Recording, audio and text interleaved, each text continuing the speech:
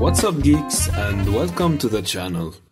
In the past few weeks, we've been adding a ton of videos to the sorting algorithm series. However, these videos were still missing one of the most important and efficient sorting algorithms. So, in today's video, we intend to fix this, because today we will detail and implement the quick sort algorithm.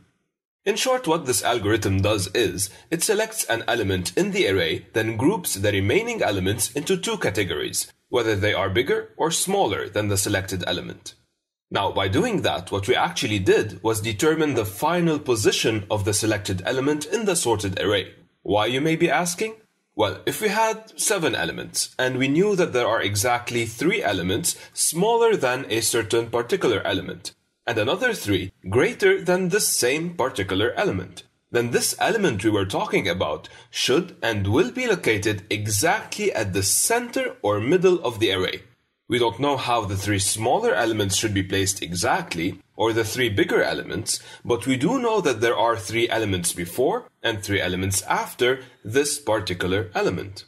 When this same logic is repeated on the two remaining categories that were created in this array, then this process is what we refer to as the quick sort algorithm. Now to make things clearer, let's take this array of integers as an example and try to sort it using the quick sort algorithm. The array you see consists of seven elements.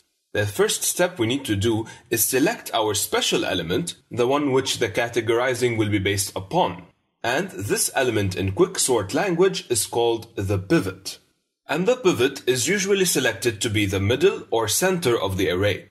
In this video, I won't dive into why we select the pivot to be the center element as I want to focus on the quick sort algorithm itself. But this topic will be covered in an upcoming video covering the complexity behind all the sorting algorithms covered in this series, so stay tuned.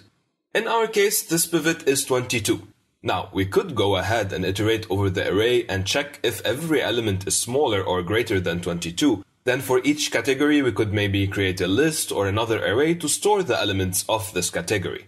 However, quicksort can be implemented as an in-place sorting algorithm, meaning it does not require additional space nor arrays to sort.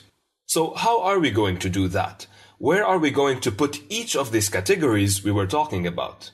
Well, the first step is moving the pivot to the back of the array by swapping it with the element located at the highest index. This will make room inside the actual array to split the remaining elements into two categories. Now we can iterate over the items in a sequential manner without worrying about our special selected element. And if the element we are standing at during the iteration is smaller than the pivot, we move it to the left side of the array. If it is greater, we move it to the right side of the array. Let's start with the first element. It is smaller than 22, so we leave it right where it is, as it is already to the left side of the array. However, the second one is a 30. So now, the next element we encounter that is smaller than 22 should be swapped with this 30 as it is more eligible to sit in that spot. Remember, smaller elements should be to the left side of the array and bigger elements to the right side of the array.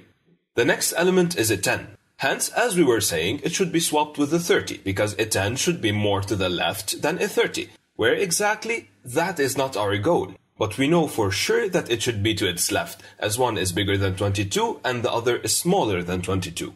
You see, we just created a category consisting of two elements smaller than 22, the first and second element. Therefore, the next element that is smaller than 22 should sit next to them, and by doing this, we will be adding it to their category, leaving the remaining elements as the second category of items bigger than 22.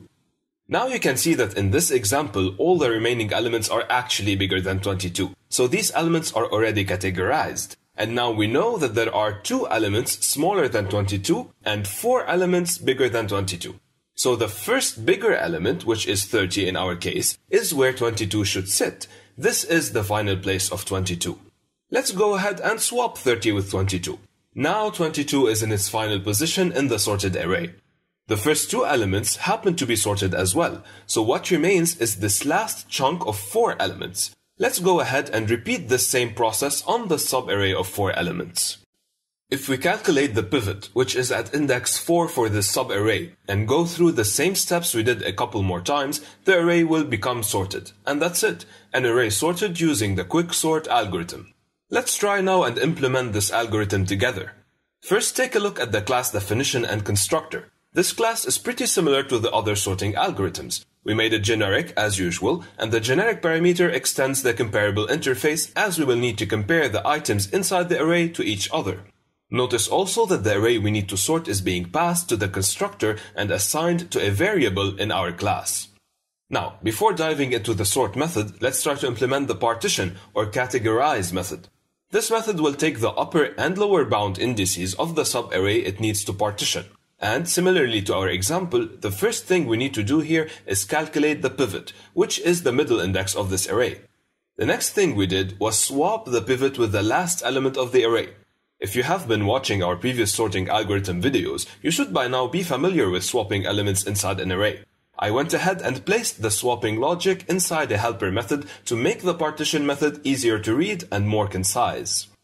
Now, the next thing we need to do is iterate over the array and check if each element stored inside this array is smaller or bigger than the pivot currently stored at the high index, which is the last index of the array, where we just placed it. If it is smaller, we said that we needed to swap it with an item located to the left of the array. But how do we know which item? And how do we keep track of such an element? Well, all we have to do is add an additional counter and initialize it at low, just like the for loop iterator. And every time we swap an element or we move an element to the left part of the array, we increment this counter.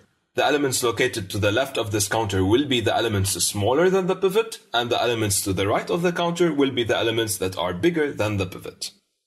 After we are done looping over all the elements, this counter will be standing over the first element that is bigger than the pivot, which happens to be the rightful and final place of our pivot in our sorted array to be. Therefore, what we have to do next is swap the pivot located at index high with the element referenced by this counter. The partition method we just implemented should return the location of the pivot. Hence, we have to return the pivot counter variable as this is the final index of the pivot. Now, why are we returning the location of the pivot? Well, because the pivot index is the boundary of the subarrays we need to partition next. Remember our example, where after categorizing based on the 22, we had to partition a second time the right subarray, and this subarray was the set of elements from 22 till the end of the array. Now let's take a step back and take a look at this partition method. This method should first be called on the initial array, and we have to provide it with indices 0 and length minus 1, which is 6. The second time we call it, it should be called on the indices ranging from 0 to pivot minus 1, and from pivot plus 1 to the end of the array.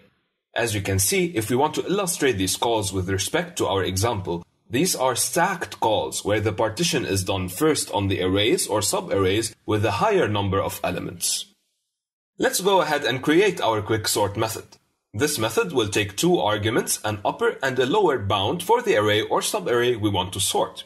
Now, we will first proceed by calling this partition method and provide it with the same bounds we have.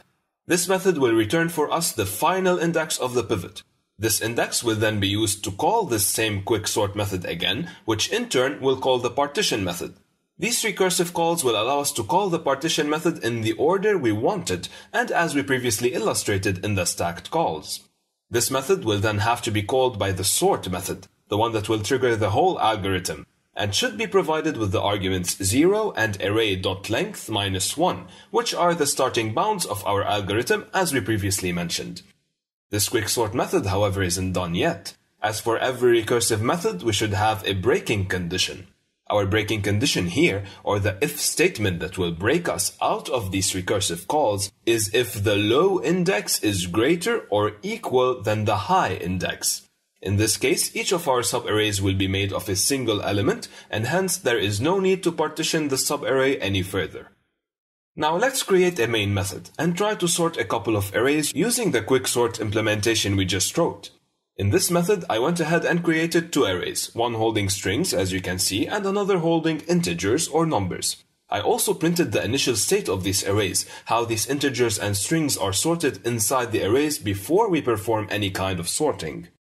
When the arrays are printed out after the sort method is called using the quicksort instances we created, you can see that both arrays are now sorted. The array storing integers is sorted in ascending order, the smallest number being the first, and the array storing strings is sorted alphabetically.